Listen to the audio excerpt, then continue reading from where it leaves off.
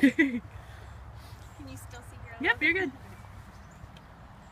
Hi, we're the Espositos. This is Boo Esposito.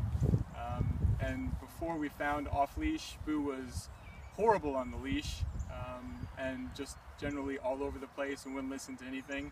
Uh, so he did the two-week board training program, and now he's a totally different dog.